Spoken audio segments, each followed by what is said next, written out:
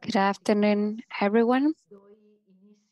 I would like to open hearing number 12 of the 187th period of sessions of the Inter-American Commission on Human Rights, which is entitled Judicialization of Matters of Public Interest Against People who Exercise Freedom of Expression. Uh, the acronym in English is SLAPPs. This hearing is a regional hearing and has been requested by the group of organizations which are here today.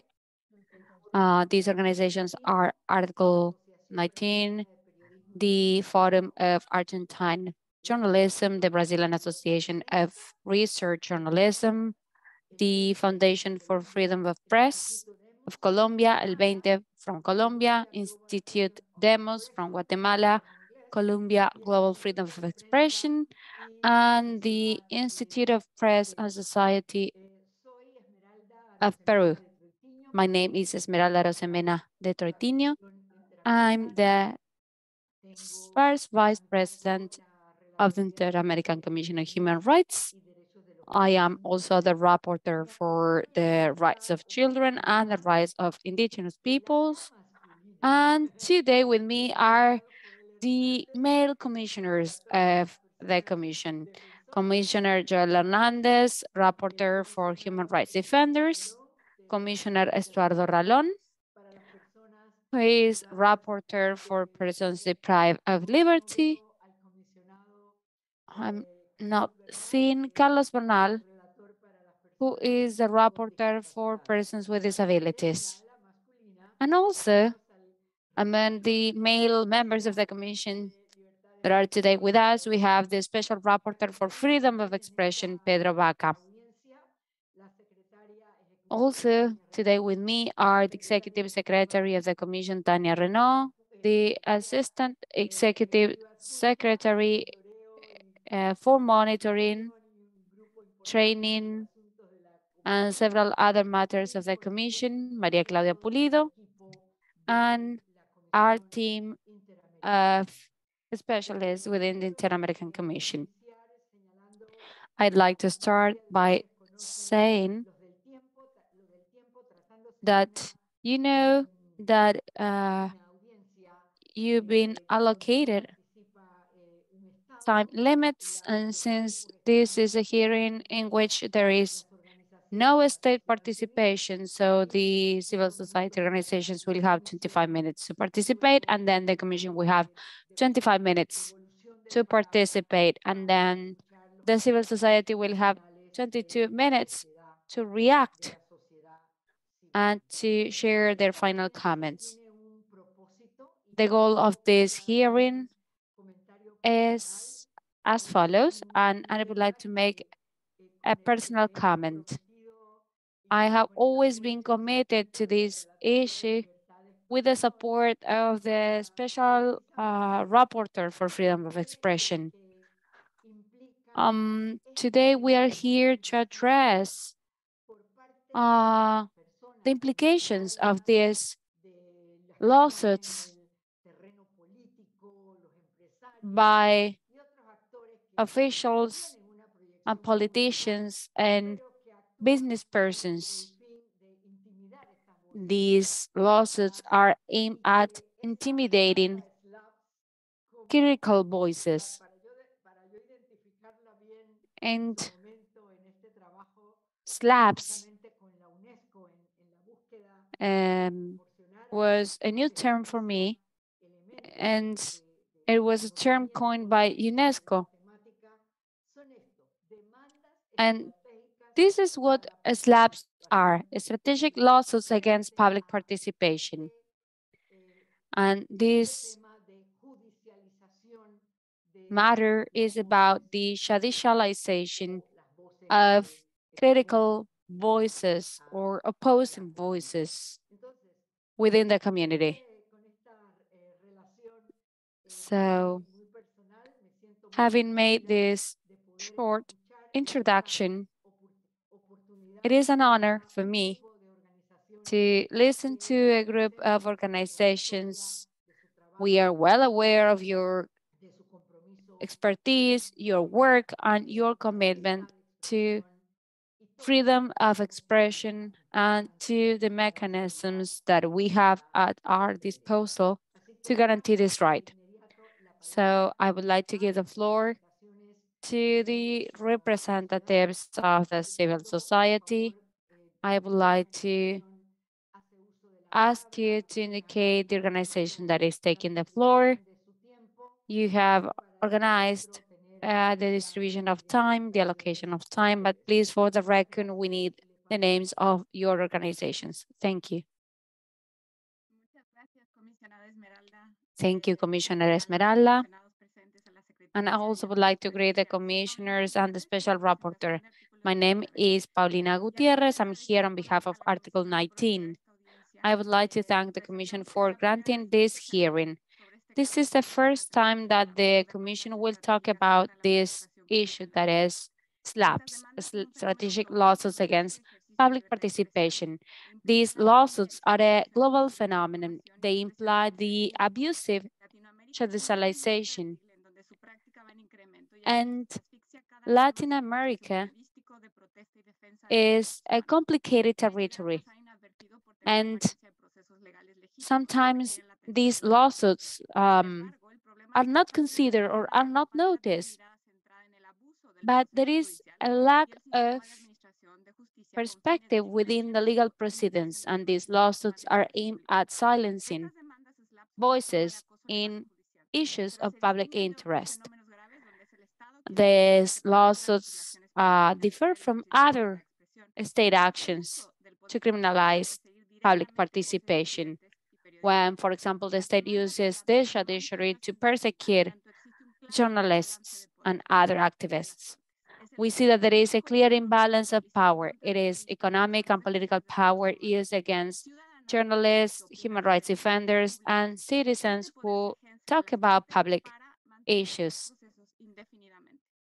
The lawsuits are kept within the courts forever to silence these people officials, politicians, business persons make the most of these losses to silence journalists and other individuals through these long and excessive proceedings.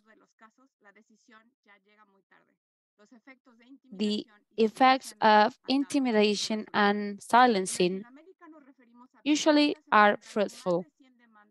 There are journalists that face over 100 lawsuits in a single country for the same publication on sexual abuse.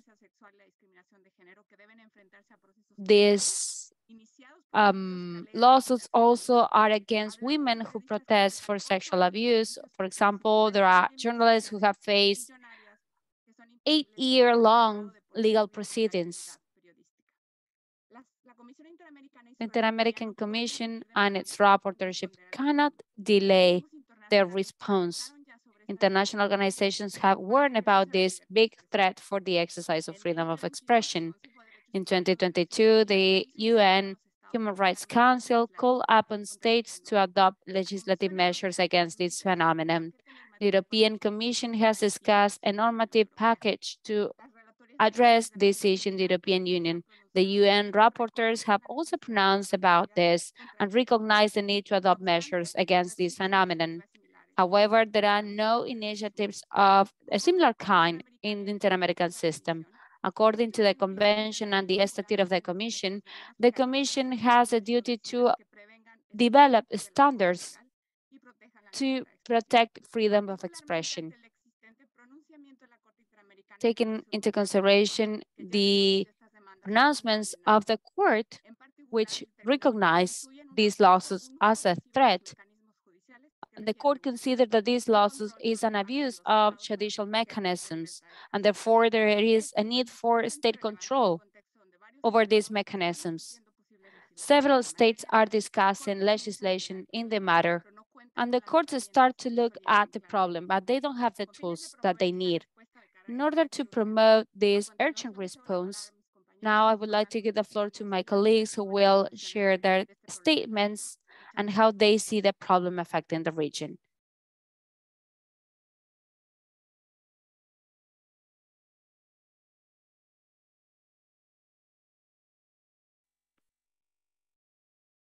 Rodolfo, ¿podrías? Rodolfo. Would you mind unmuting yourself, please?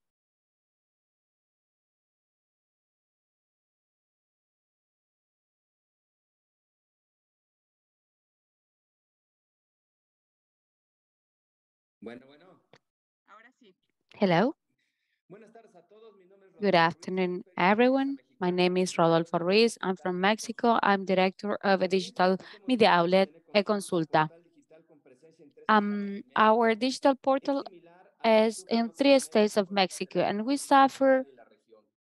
pressure like many other media outlets in the region. Desde distintas instancias del Estado, We suffer different types of insults from by different areas of the states, and also we suffer from um, civil lawsuits, also audits, and also we are facing three criminal proceedings for alleged money laundering and illegal management of resources.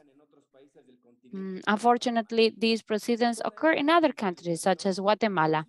This judicialization was conducted by Miguel Barbosa, together with officials close to him. They just wanted to benefit or to, um, in fact, uh, to um, undermine the role of the digital portal that I lead.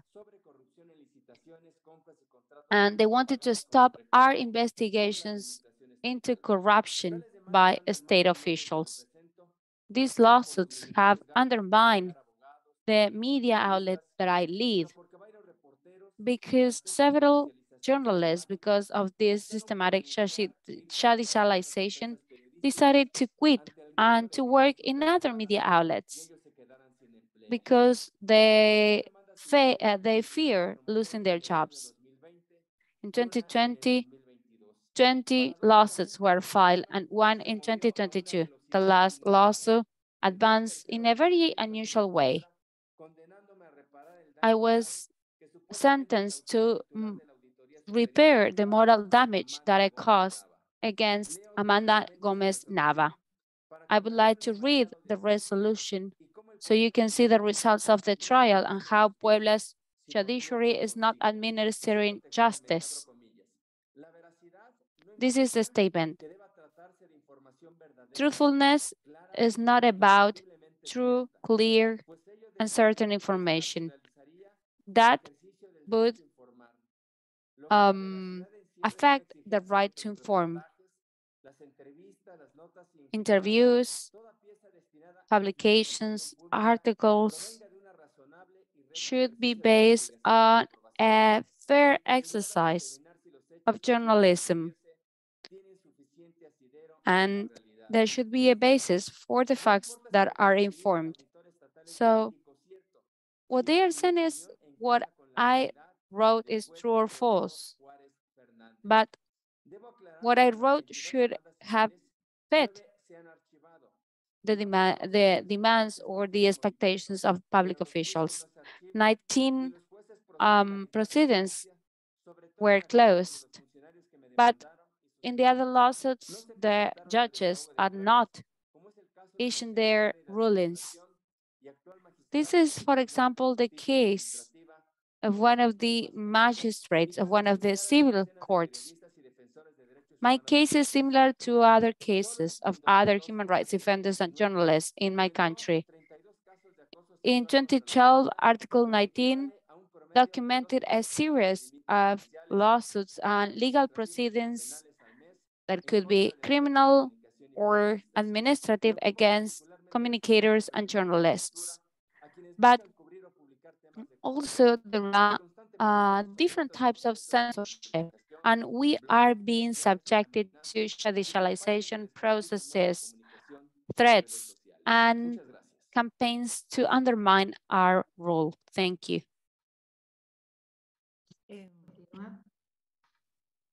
Buenas tardes. Mi nombre es Good Catalina. afternoon. My name is Catalina Ruiz Navarro, director and founder of Volcánicas, a regional digital magazine of feminist journalism.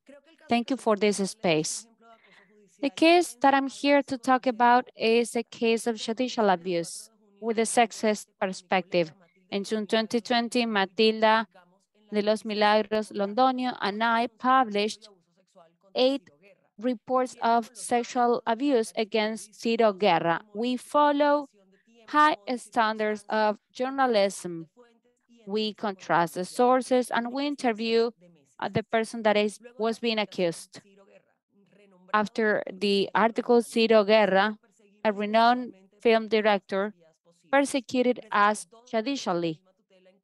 He presented two remedies against us. He reported us in the criminal jurisdiction, and we were summoned to testify. Guerra also filed a civil lawsuit against us for $1 million using the same allegations that we were damaging his reputation.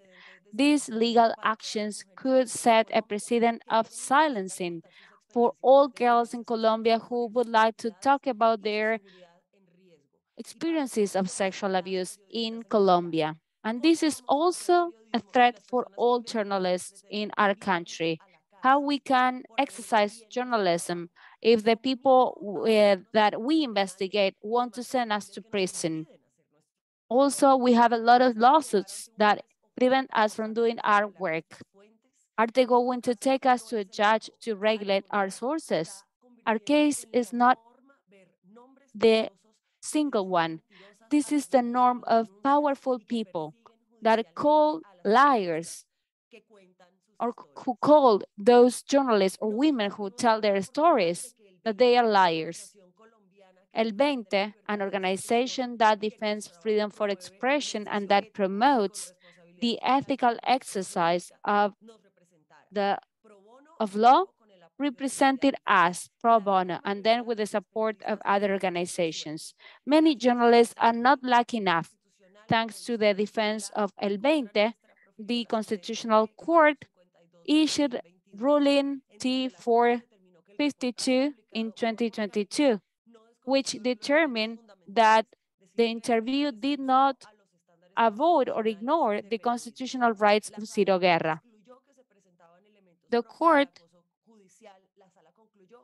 concluded that there were elements of judicial harassment and abuse because there was a lack of imbalance or lack of balance. And Guerra resorted to several courts to request some compensation, compensation that we couldn't pay. The court established also that these women just communicated the voices of other women who feel, felt unsafe and were not ready to face harassment and abuse. Ciro Alfonso Guerra and his colleagues decided to start some judicial actions with disproportionate demands. Three years have gone, have gone by and the legal proceedings have affected our health and have affected our families. And those proceedings are a threat for our stability and integrity in the future. Sexual abuse and harassment against women are a public interest issue, and they require urgent conversations in the region, and we need freedom for expression to discuss these matters. Usually the perpetrators are men with a lot of power, and they have access to very expensive legal counsel. They use the legal system to persecute journalists and to silence other people who might be presenting complaints. Brendan, we do not want to replace justice. Legal proceedings are fundamental so that there are spaces so uh, that other women and victims of abuse felt comfortable to share their stories. We want your support so that we are not being silenced. Thank you.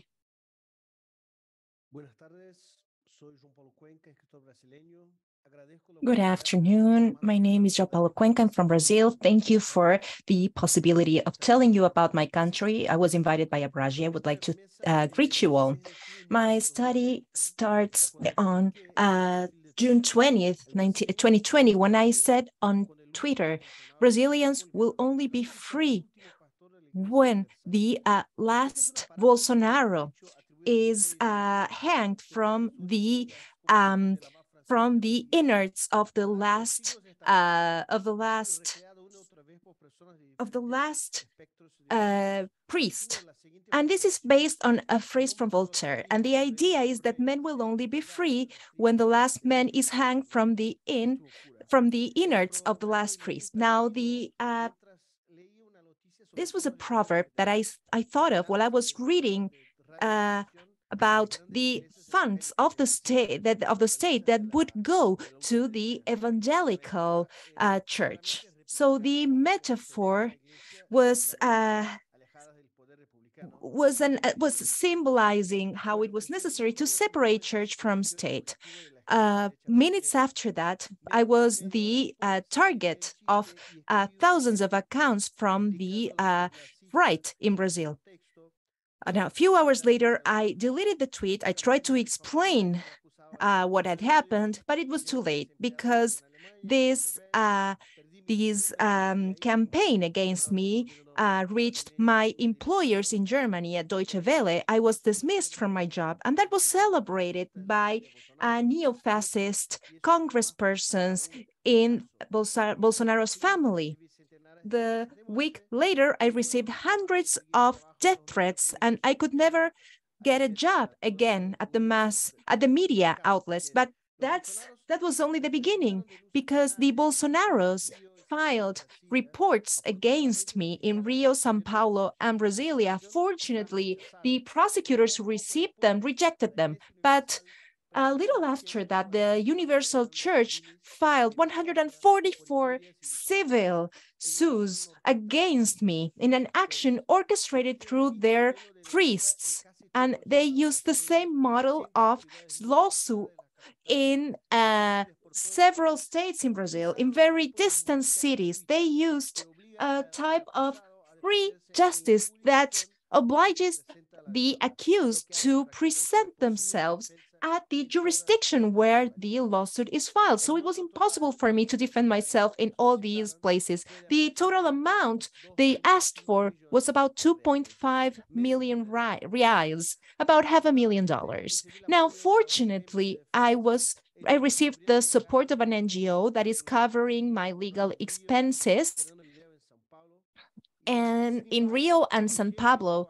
But even if I won all 144 processes, the damage is already done.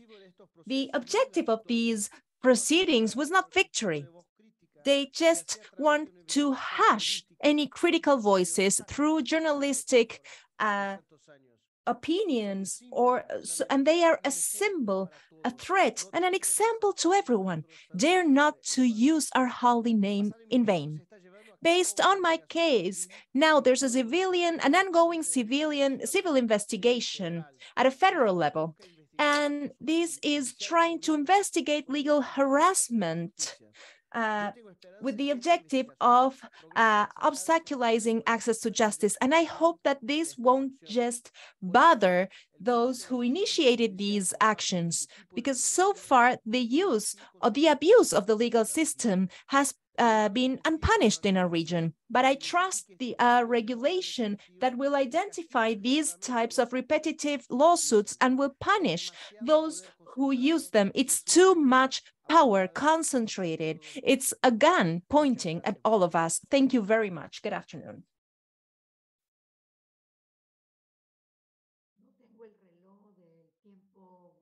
I see the uh, timer. I, I can see the timer. How are we on time?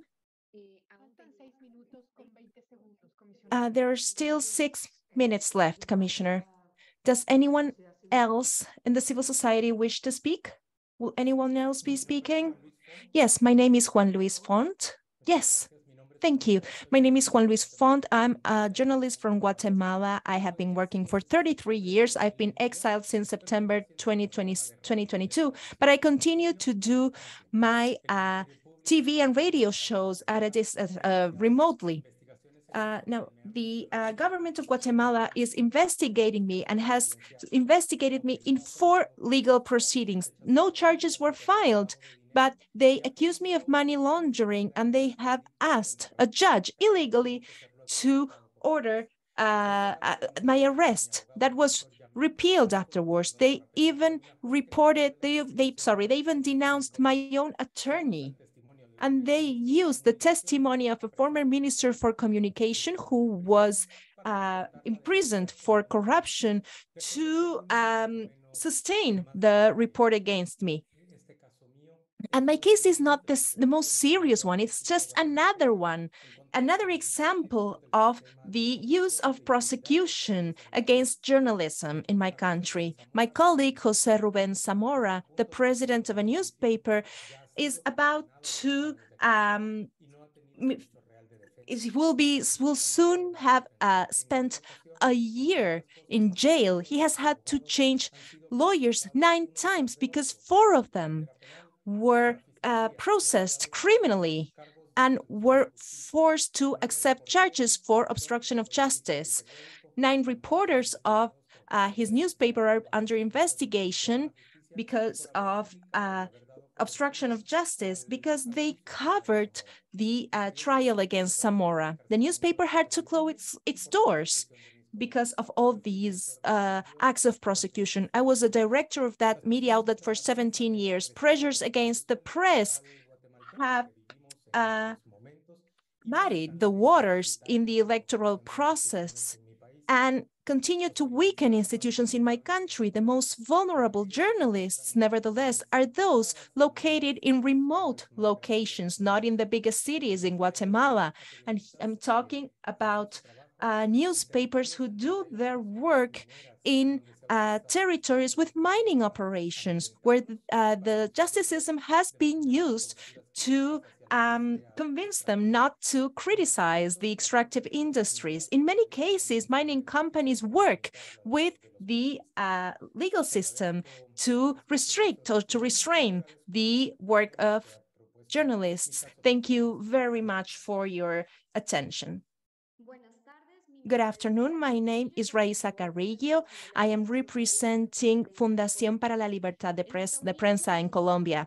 We have listened to uh, the a few examples of SLAPPs in our region and testimonies that show the abuse of the legal system to silence political discourse now, their objective is clear because they are trying to inhibit journalists from doing their job and from criticizing governments. So on behalf of all the organizations, we urge the Commission and the Special Rapporteurship to recognize the danger of SLAPPs in the region and to agree on measures to face this problem. Once again, we after there was um, a pronouncement by the court and now the commission and the rapporteurship have an obligation to uh, make a position on this issue as well and to protect freedom of expression. We specifically ask the rapporteurship to draft a thematic report about the uh, impact of this phenomenon, considering the legal and political context in the region. This will allow to see what kind of measures within the legal frameworks are and that are compatible with the inter-American system can be applied, always following due process and the protection of freedom of expression.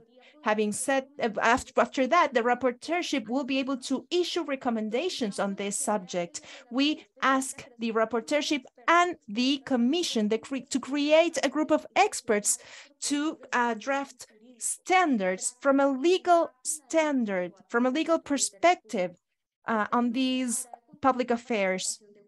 This group should have the participation of judges, persons affected by the by this type of harassment, and representatives of the civil society, the legal community, experts in civil, criminal, procedural, and administrative law. In particular, this group should assess the issue in a comprehensive manner to assess the existing legal frameworks. Uh, and for example, the case of crimes against honor and all the um, legislations that do not comply with the human rights standards in the region, and also those actions that intend to restrict freedom of expression. Considering all these actions and how urgent this topic is, the civil society announces the creation of a regional group against litigious harassment that will uh, mean a landmark in Latin America. We urge the uh, country rapporteurs and the rapporteur, special rapporteurship to join this group so that we can all fight this scourge. Thank you very much. Thank you. Now, uh, the time has run out. We will move on to the participation of my colleagues. So I would like to ask Commissioner Joel if he wishes to speak. Yes, thank you, Madam President. I um I will try to keep it short and sweet because the star tonight is Special Rapporteur Pedro Vaca, but I would like to recognize the work of the organizations that have requested this hearing, for their participation, for their being here, for the information they are providing with the purpose, as Paulina was saying, I believe, uh, of the uh, commission drafting uh, um, recommendations. Your, the information you have provided is very relevant with regards to the judicialization of journalists. So there are two tasks I will add to my mandate. One of them as rapporteur for uh, human rights defenders. And I, because I want to record the uh, link between the threats suffered by human rights defenders because they are uh, this the patterns are very similar in many countries the uh, national mechanisms for protection cover both journalists and defenders but there's another important task we, uh, or kind of homework we should all uh, take from this. And, and that's trying to uh, pay more attention to the countries uh, we work with. When we uh, carry out work visits, it's important, it's important for us to think of this particular topic. Thanks to the work of the special rapporteurship, it's an element we always take into account. But I think it's very important to keep that in mind. So, so that'll be all uh, for me. Thank you very much, Madam, Pres uh, Madam Commissioner. Thank you, Commissioner.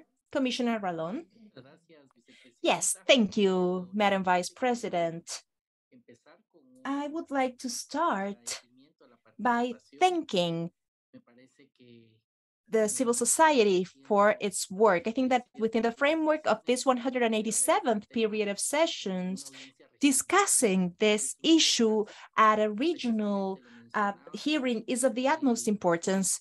And even though there has been some progress in the European system, we are facing a huge challenge in the inter-American system, considering what you've uh, presented today so that we can analyze the information. And of course, we would like to tell the organizations that if you have any kind of complementary information uh, that you can send in written form, that would be wonderful as well.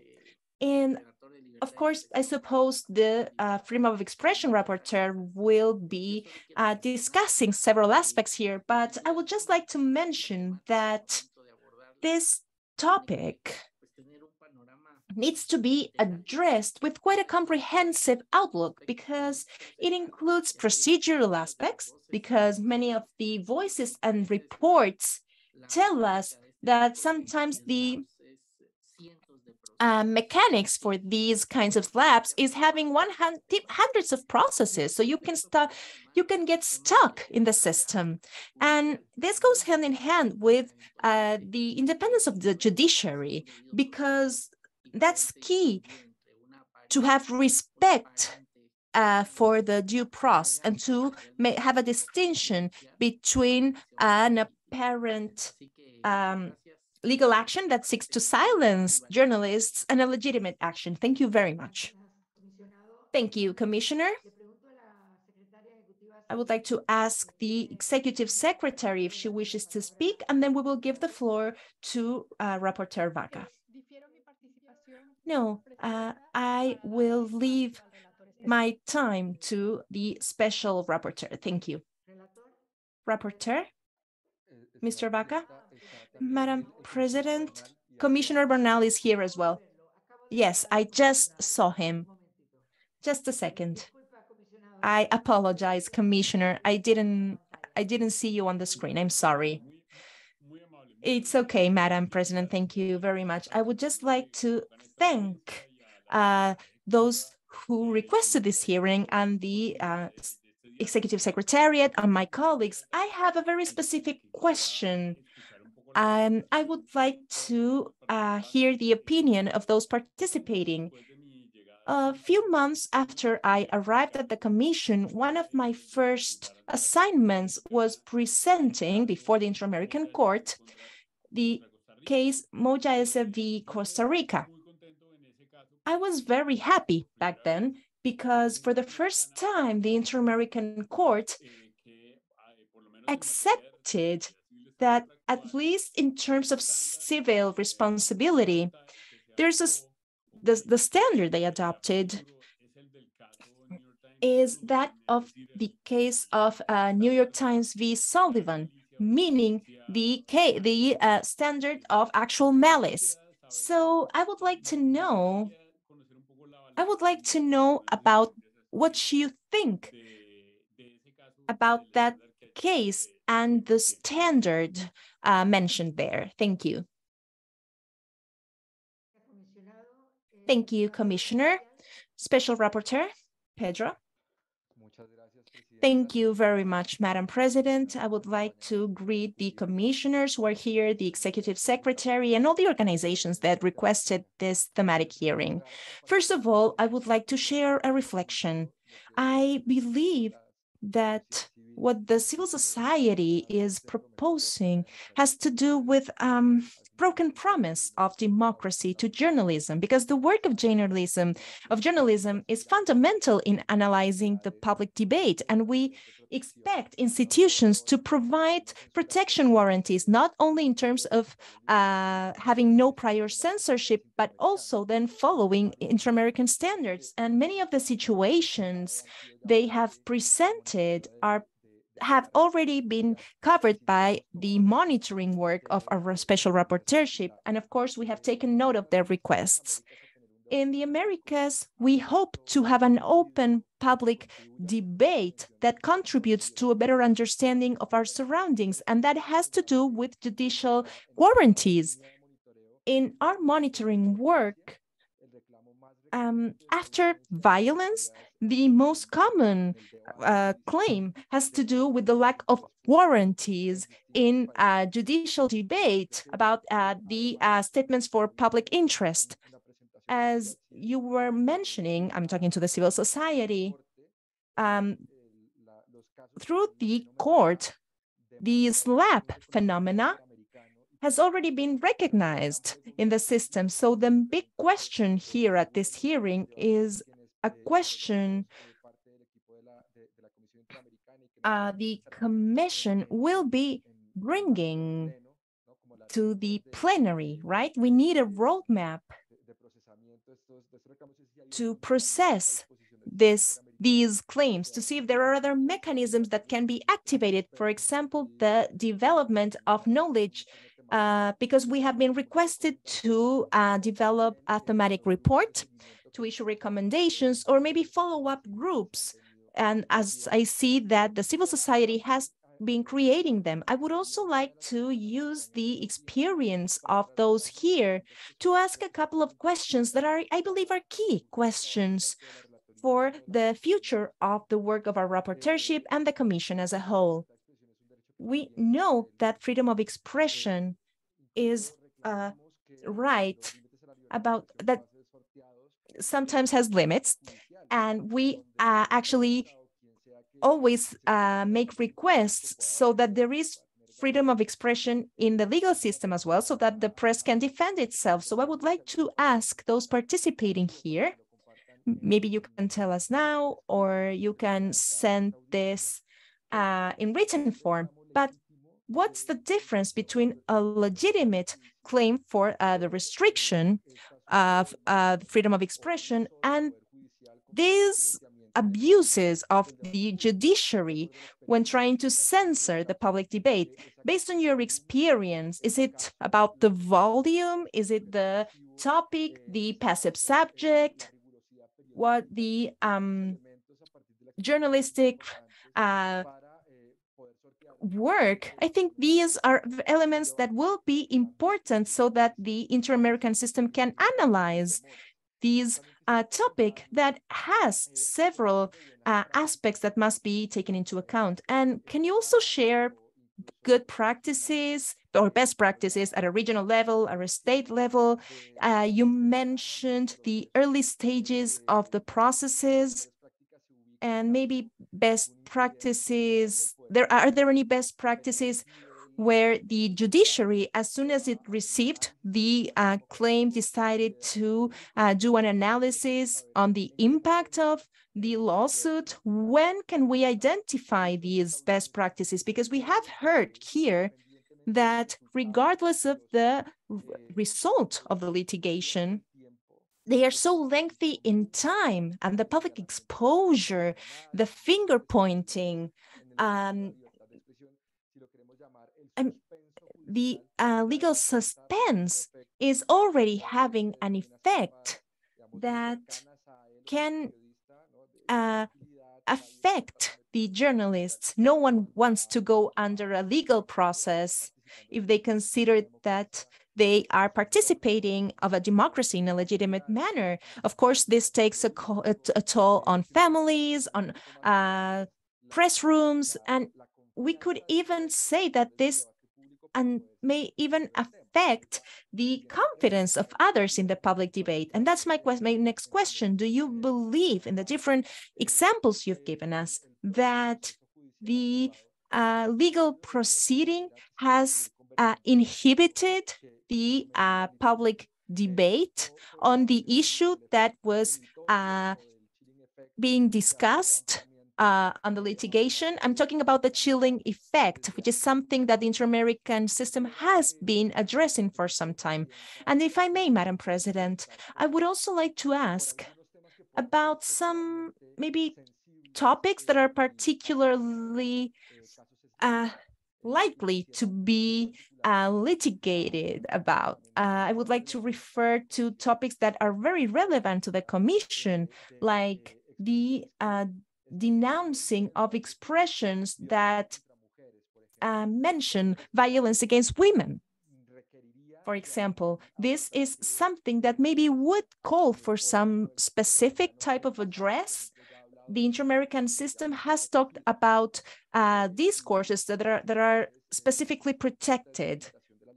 So the restraints on uh, freedom of expression should be even stricter political discourse, uh, identity discourse, public affairs, types of discourse that show violence against women. Should they be part of that category? And what would be the elements to consider that?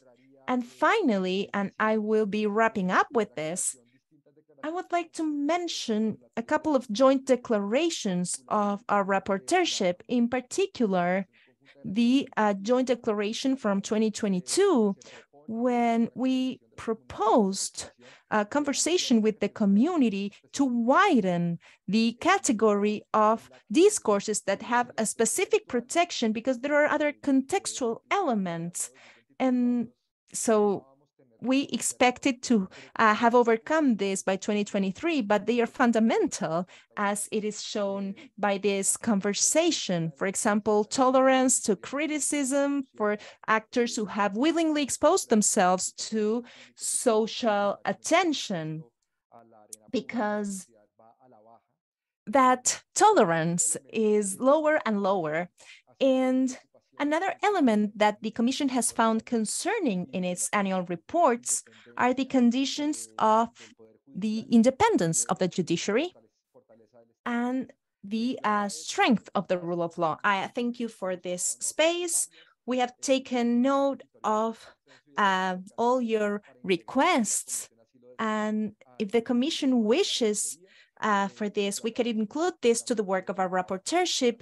Thank you very much, dear organizations, for your work, because sometimes your work uh, sometimes ends up making up for a lack of work in countries. There are many attorneys who dare not represent journalists because of the threats they may suffer.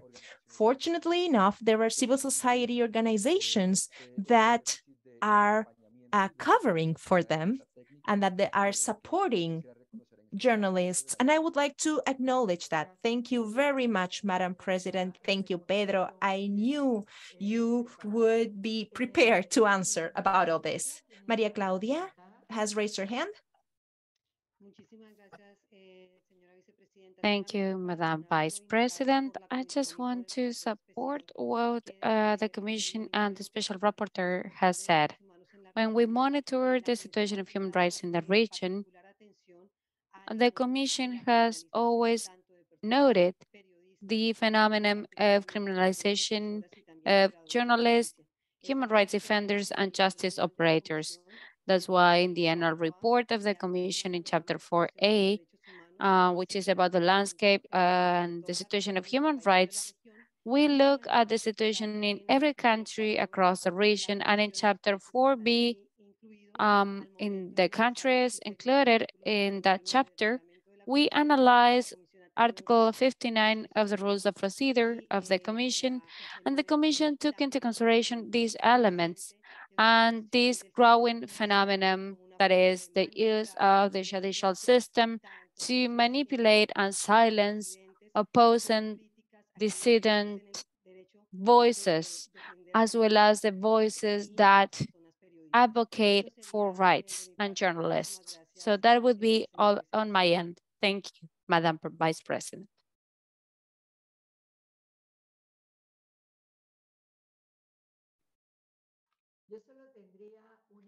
I only have one comment to make for um, the organizations.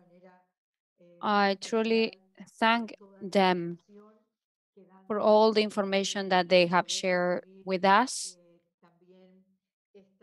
And we hope we can receive the information that has been requested to establish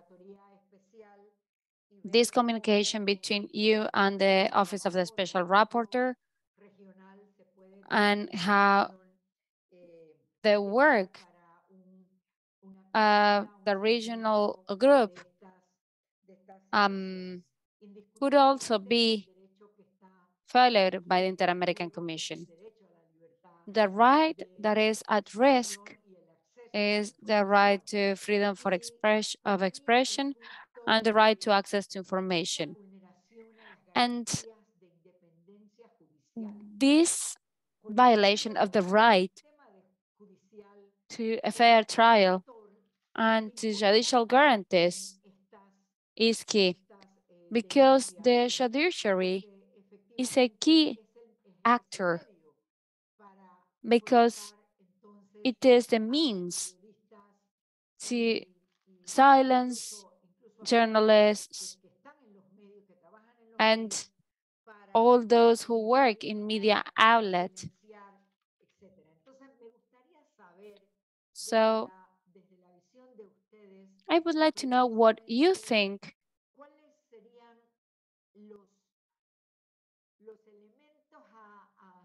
that the elements that should be addressed are what elements should be identified according to you?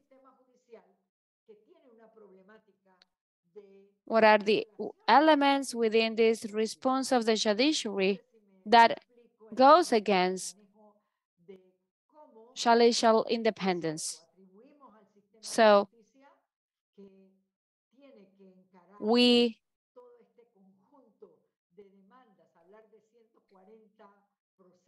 know that the judiciary or the judicial system needs to address 140 lawsuits. And that's a chaotic situation, especially for the person that is being sued. but it's also a challenge for the system itself. So I would like to know what elements you believe should be addressed in order to ensure judicial independence. Uh, when I was talking about my personal experience,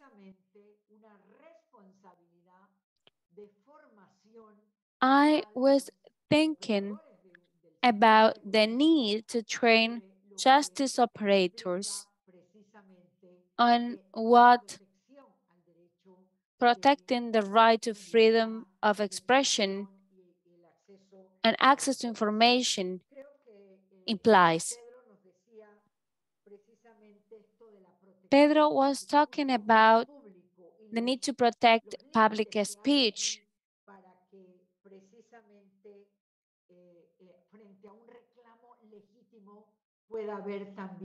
And the limits that exist. So if there is a legitimate complaint, there could be a legitimate response. Because what we need are effective responses, not responses that are aimed at silencing or intimidating people. So the Commission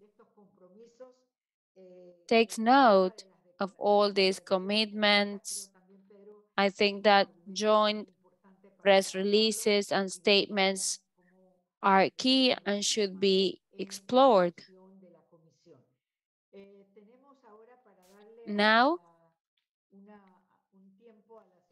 we have, uh, I don't remember the time. The civil society will have 22 minutes now to react to the intervention of the commission. Is that right?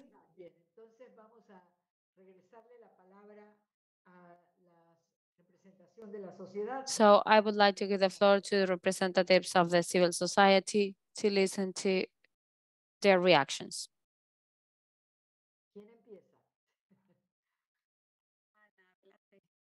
Bueno, eh, muchas gracias a la comisión por, por esta audiencia, por este espacio, al señor Thanks relator. to the commission for this space, for the special rapporteur for his questions. I want to be very brief. Since 2020, we have been studying um, the characteristics of the judiciary because access to justice is one of the most important elements of the rule of law. But it's important to determine when access to justice is abusive and is for censorship aims. Sometimes there could be a conflict regarding freedom of expression if something that has been said could have been said. Secondly, it's important to see if the case appears in a prima facie study. Uh, there could be a prima facie study to determine that the case is unfounded.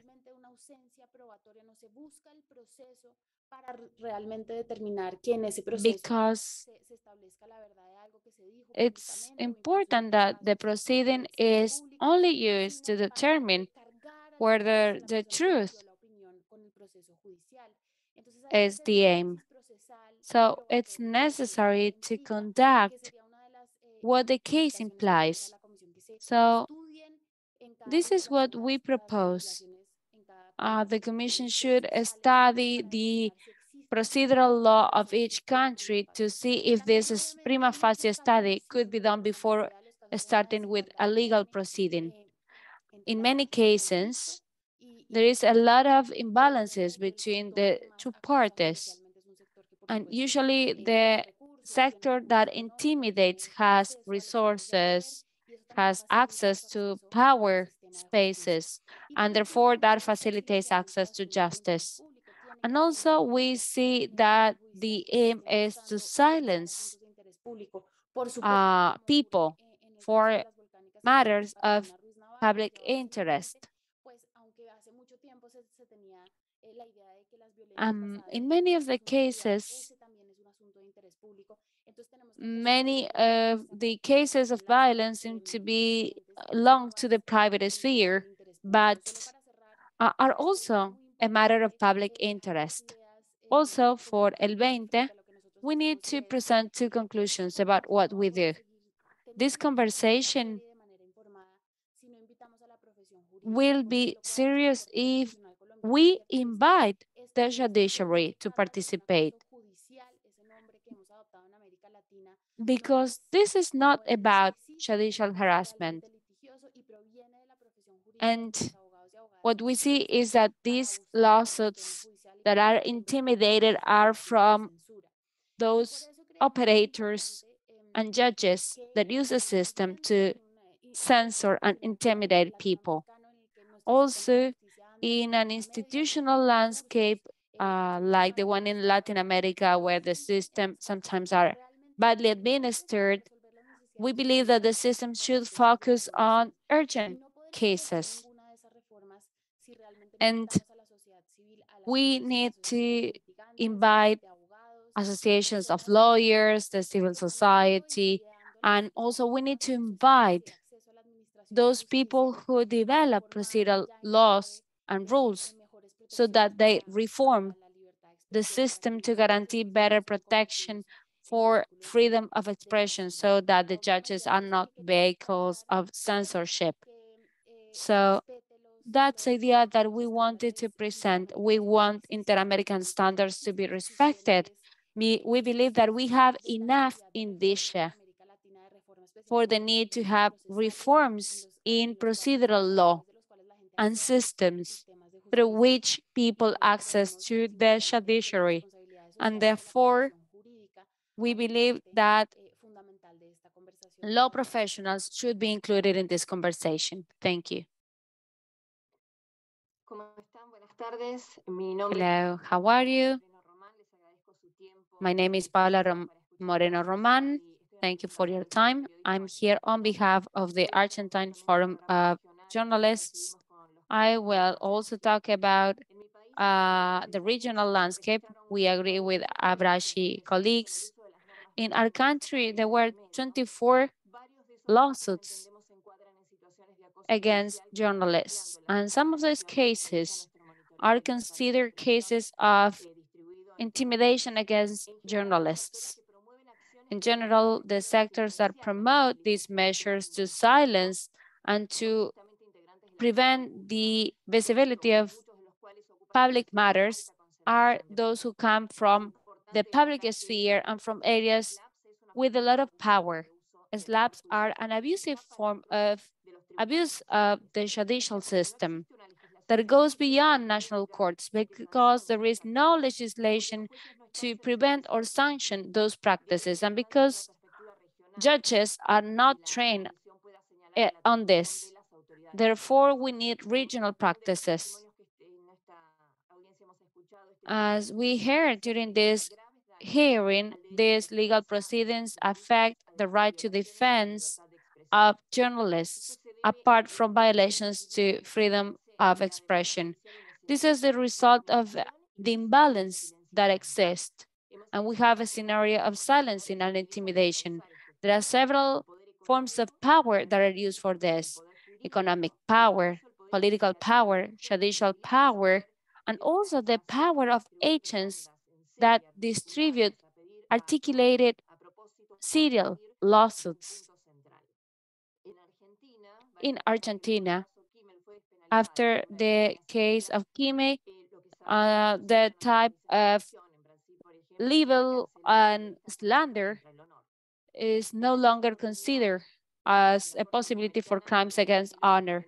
The Inter-American Court in 20, 2008 condemned the state of Argentina for violating freedom of expression, especially when statements are just an opinion regarding a public official. But there are other methods to intimidate people, for example, civil lawsuits or alternative types of crime, like illicit or illegal associations. We have cases such as Enzo, Santoro, Benito, and there are other cases that sum up across the country. So those who pretend to silence people usually use the civil legal pathway to do that. It's important that the Secretariat of Human Rights prepares a report on SLAPP cases because these SLAPPs are an attack against democracy. They prevent the press from informing what public officials are doing. So we need to improve or to have more requirements for the filing of lawsuits. Also, in Argentina, there is no in limine rejections of this type of situations. In Brazil, there are also other strategies that are used to uh, hamper the work of journalists, such as serial lawsuits that threaten journalists and lawyers, that erode the exercise of journalism. Uh, the person that is sued um, usually suffers from the fact that the person that files the complaint presents a complaint or the lawsuit in the court or before the court that will be more effective for them. Although local courts understand and advocate for freedom of expression, silence and intimidation occur before reaching the court. And also there is a lack of, this leads to a lack of information. The civil society and media outlets and journalists are advancing to create and build spaces of discussion to discuss and bills and strategies to create bill positive jurisprudence. But also we need to call upon states to build prepare public policies in this regard. This is not just isolated cases or individual cases.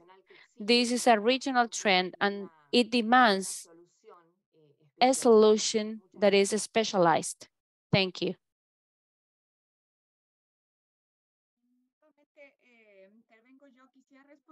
I would like to answer some of the questions presented by the commissioners and the special rapporteur.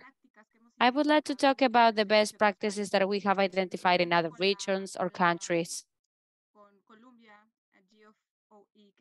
Together with Columbia Global Freedom of Expression, this is an academic center that researches and publishes best practices and case law in different countries in terms of freedom of expression. We have identified some trends that exist in some countries to see how the courts react to these cases when there is now special legislation or anti-SLAPP legislation. Canada, Australia, the United States have anti anti-SLAPP legislation, and they have had them for over 20 years. But they have a common law system that is not the same as our Latin American systems, but there are legal elements that could be used to explore, to improve our procedural law in South Africa, India, Bulgaria, and Colombia. They use these rules about the abuse of law, and there are different, different procedural types that are being used. And uh, the sued parties should present these arguments before the courts. The courts are facing these cases in different jurisdictions and they are expanding their interpretation regarding the scope and the enforcement of these rules. And they are trying to improve their jurisprudence and they need that they understand these tools. They have these rules but at the same time, they understand that they don't have sufficient tools. And there should be a special legislation in order to conduct this prima facie study. This is a practice that is a trend in several countries, and the proposal of the European Union considers these elements. It talks about uh, an unbased or unreasonable lawsuit So there are several elements and analysis that the courts conducted in these cases. And within the Latin American context, these losses are not only civil. Sometimes these losses are related to intellectual property and other or intellectual property demand, uh, lawsuits. So we need to look at those bodies that study cases and we need to look uh, not only at the possibility of having cases that are unfounded or un unreasonable,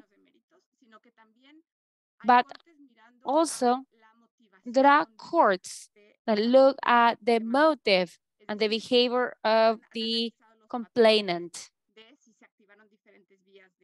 Uh, they look at different elements. For example, if different legal uh, mechanisms were used to fight the lawsuit, if they're using different remedies or actions to delay the proceeding, if the arguments lack uh, the arguments like lack a basis or a foundation. So there are many, many best practices that can be shared and that could be a good guideline for the Commission and for the Office of the Special Rapporteur.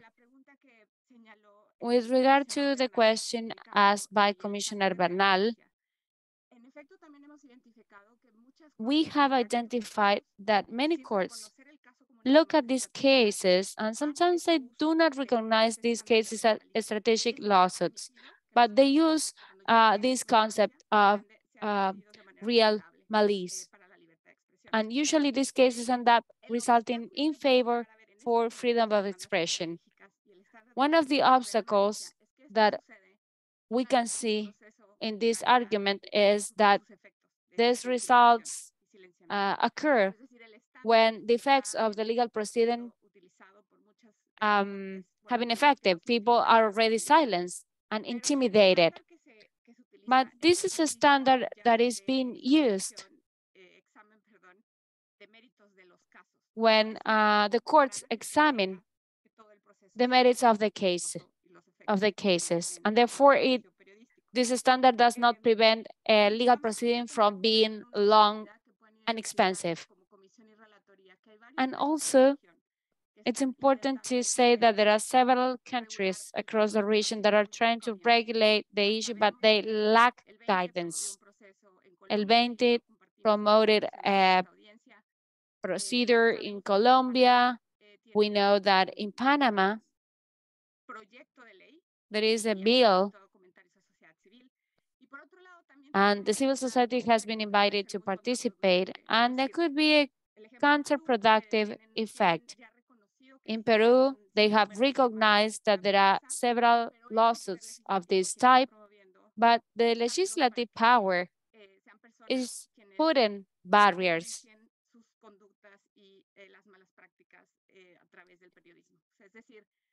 So we see that there is a trend to amend the criminal legislation in terms of libel and slander, and they want to modify the legislation to put more barriers while there are other legislation that is more positive. Thank you.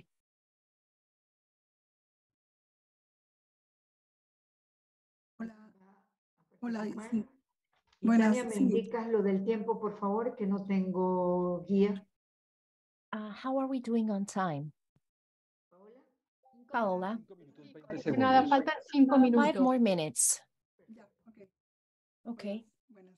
Gracias por, por Hi, thank you for uh, listening to me. I am Paola Ugaz. I'm a journalist since 1999. I'm from Lima.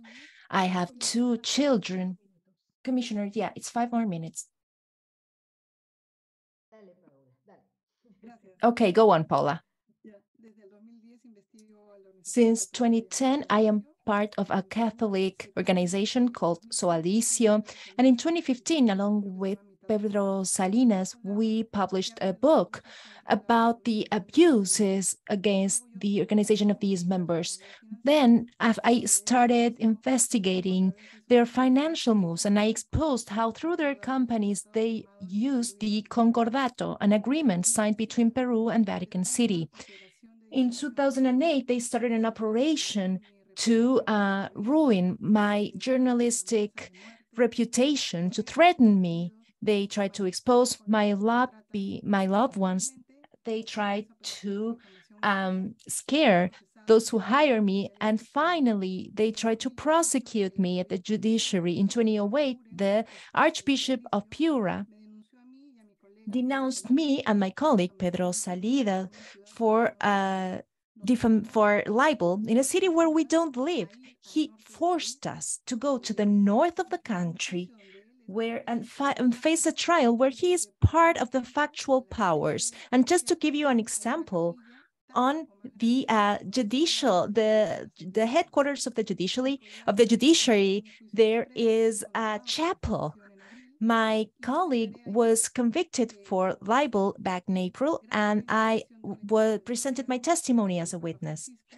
Thanks to a team sent from Vatican City, Archbishop Eguren was told that if he wanted to um, prosecute uh, journalists, uh, he had to um, he they ha he had to ask for a leave of absence. At the moment, that at that moment, he uh, dropped the lawsuits against us, but a lawsuit against me was opened for false testimony. Ever since the so so Alicia was out of the picture, but then another team was in, and they started to uh, present lawsuits against me. And in 2009, I was the uh, journalist with the highest amount of lawsuits against her in my country. They started to create an ecosystem to uh, attack me and Pedro Salinas. What did they do? Well, they mixed the work we did between uh, the book I did between 2013 and 2014 as a community manager for the current mayor back then. And they said as part of this uh, defamation campaign. They said that I am a co-mayor and that I had powers to order gigantic uh, works with multi-million budgets. They said that I traveled to Panama with the mayor that she gave me bags of money, that I took a bus to Salvador. I gave a bag of money to journalist Gustavo Gorriti and then came back to Lima. And then six years later, in March 2020, I spent everything on a network led by me and I gave them $100,000 to them. They also said that I purchased a car from a friend in Sinaloa and that with the uh, rest of the money, my colleague Pedro Salinas and I uh, traffic lands in the south of Lima. And they also said that I want the uh, Sodalicio to leave Piura because I'm in cahoots with uh, the daughter of a journalist who has an agreement to uh, with um, mass media outlet in uh, the Middle East, in Al Jazeera. Uh, that sounds surreal, isn't it? Yes, but everything was published in the Expreso in 2020. And back then, the evidence they presented were um, chats they drafted on Microsoft Word. One, uh, the, the report was filed by a journalist uh, who, who worked since the 1990s. Uh, we asked for him to present testimony, but he has disappeared. The entire ecosystem against me is linked to the current mayor of Lima, who is a person that before he was a politician was a businessman, and he is a uh, he is a partner of the Sodalicio, Sodalicio, and his former candidates to Congress are a consistent part of the defamation campaign against me. They have filed reports against me and they have used uh, portables asking for my detention or to uh, prevent me from leaving the country. And it is because of all of this that there are two investigations uh, against me for money laundering and corruption. I am part of the Lava Jato case, as if I was a former president or an elected official. Perdón, ya, ya se I'm sorry, but we've run out of time. Okay. The commissioner was uh, telling us that we need to wrap up. Yes, I'm sorry, we have a, another hearing. It's okay, thank you. I am really sorry. I'm really sorry to do that, but this is very important information, very valuable information, and I think it is necessary. I, I just wanted to, to wrap up saying that uh, I have a lawsuit against me for in for illegal enriching, uh, one for money laundering, and now they are assessing uh, preemptive uh, prison against me, and they are trying to prevent me from leaving the country. Yes, I understand. It's very concerning. I mean, the situation you all are going through, considering these expe- experiences you have shared, and for the Commission, it is very important to receive all this information because it also allows us not only with the uh, RELE, the Rapporteurship for Freedom of Expression, but also because of uh, all the monitoring work we do of the different situations and circumstances, the rights of human rights defenders, or in this case, journalists are affected in their la daily labor. So thank you very much for uh, all the information you've presented. If you uh, believe we should have more information, we would appreciate it if you could send it to us so that we can work with on them together with you. Thank you very much. And we will uh, continue with this commitment to work together. Thank you very Perdón, much. Madam comisionada. Commissioner, uh, we will take a picture. Is that okay? Yes, of course. Thank you. Yes, that's my technical support assisting me. Si todos pueden mirar la cámara, por favor. Please, could you all look at the camera? Ya estamos. Muchas gracias. And that's it. Thank you very much. Thank you. Bye bye. Muchas gracias. Hasta luego, mucho gusto. Hasta luego. Saludos, gracias.